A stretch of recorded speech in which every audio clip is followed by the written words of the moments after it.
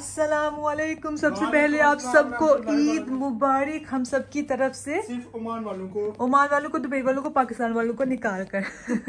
और अली ये क्या कर रहे हो? ये अभी मैं सुबह का जो सूट है ईद वाला वो मैं प्रेस कर रहा हूँ।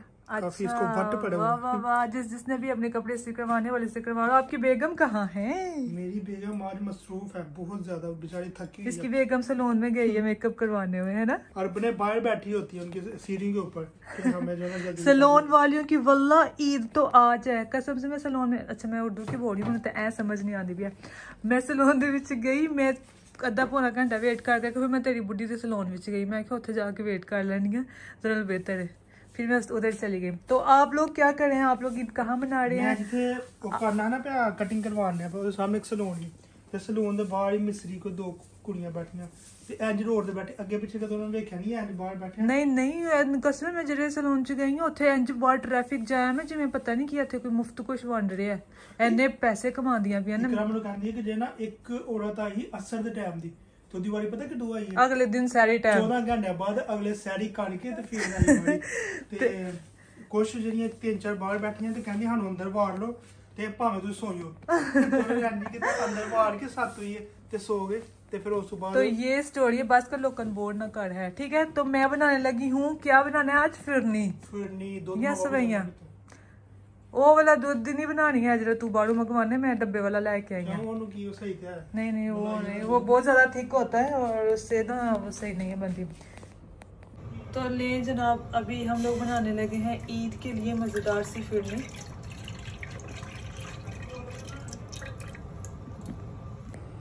तो इसमें आपने two two three spoon dry milk powder भी ऐड कर लेना है फॉर थिकनेस इन फिरनी ये सीक्रेट रेसिपी है भाई, ठीक है?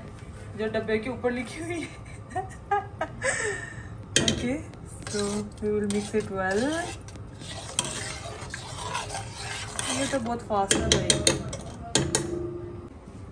पूरा रमज़ान का महीना हम लोग जागते होते थे इस टाइम पे। कभी खिड़की खोल के बाहर नहीं देखा, माशाल्लाह, इतना खूबसूरत नज़ारा, इतना खूबसूरत मंजर। सुबह को लाइव होते हुए देखना it's so fascinating really that's so fascinating and the sound of birds oh my god इतनी रिलैक्सेशन फील होती है। और गाड़ी में ची ची की आवाज़ें आ रही हैं। सो गुड सो गुड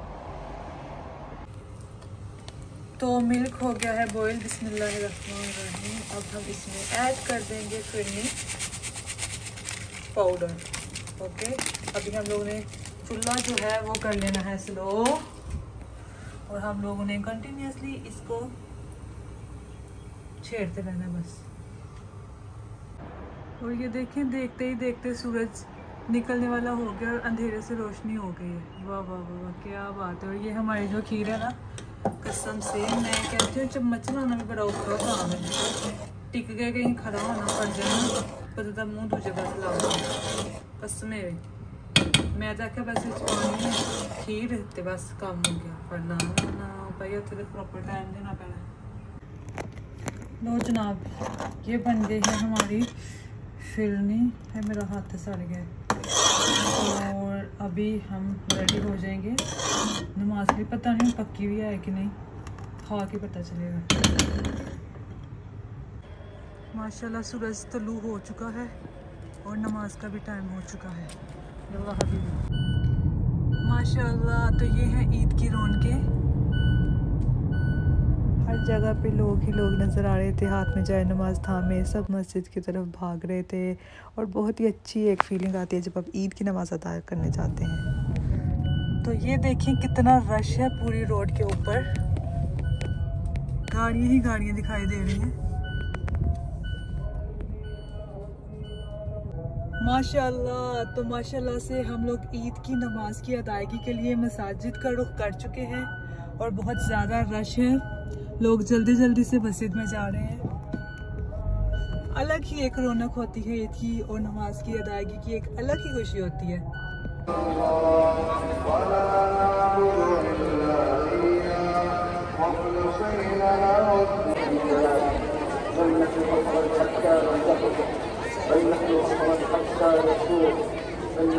तो ये नमाज़ पढ़ के हम आ चुके हैं। ये जो इसने दो घंटे लगा के अपने कपड़े इस्त्री किए थे ना अब देखो कितने वट्टो वट हो चुके तो हैं। वट अगर मैं नहीं तो अभी ये खीर हम लोग खाएँगे। और ईद मनाएँगे। सही है इसको फ्रिज में नहीं है रखा अभी तक। सही है। पसीना कितना दे कितनी गर्मी सब पूरी रात मैं भी सोई नहीं हूँ और अली भी फिरता टुरता रहा है अभी हम लोगों ने बस तो अभी नमाज़ पढ़ के अभी हम सोएँगे। इसके अलावा कोई फ्रिज रखा थोड़ी देर उतले हाने चला दे फिर खा ली। अच्छा किस किस को ऐसे प्लेखा लग रहा है?